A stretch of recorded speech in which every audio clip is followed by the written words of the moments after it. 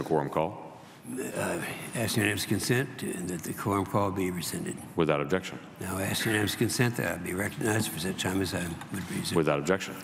Uh, Mr. President, I have a, a real personal interest in, in, in, in, in a vote that's coming up on Zika.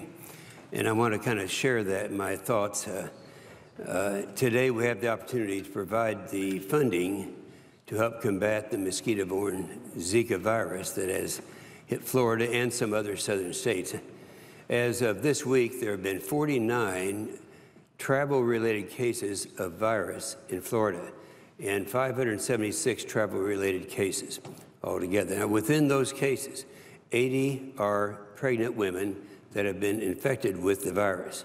This is extremely concerning since the Zika has been linked to severe birth defects in children born from mothers who contacted with the virus, Zika.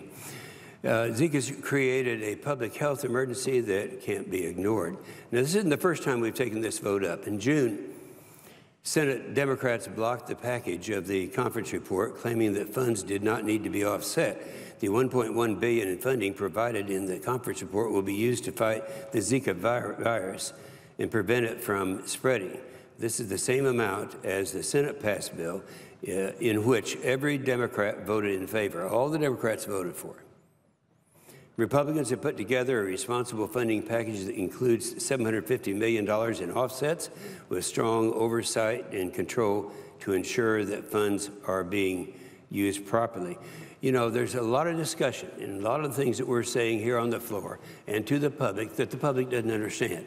They can't be expected to understand. They're too busy out trying to make a living. But when they hear things like this, they shake their heads and they say, you know, what's wrong with that system up there?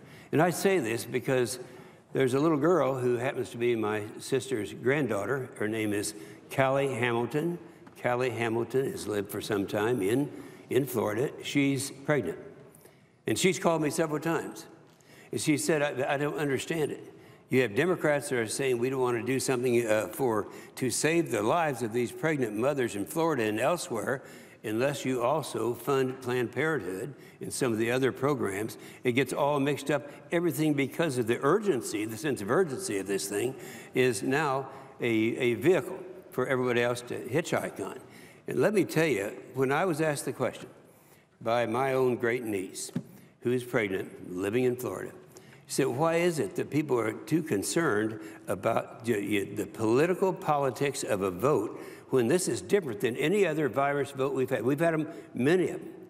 And, and, and normally there's some question as to what caused it, some question as to whether or not the solution is a viable solution, when in fact, in this case, it is. There's no question about it.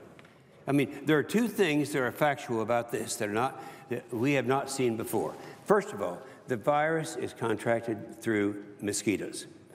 We all know that. Nobody refutes that. The second thing is you can kill mosquitoes, and everybody knows that. Now, whether the amount's 750 million uh, or whatever the amount is, doesn't really matter. Even if you were out there with a very small amount and just killed several million mosquitoes, that could save lives. And it could be my grand niece, Carrie Callie uh, Hamilton. And so this is different, and I hope, and I'm going to encourage when this vote comes up, my Republican and Democrat friends alike to consider this isn't something to put something else on.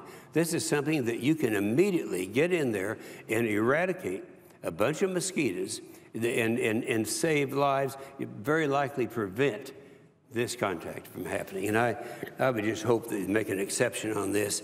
Uh, it doesn't make any difference about offsets. It doesn't make any difference about uh, the cost, really.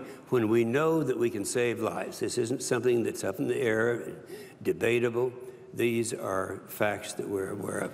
Hey, um, Mr. President, I wasn't going to talk about that.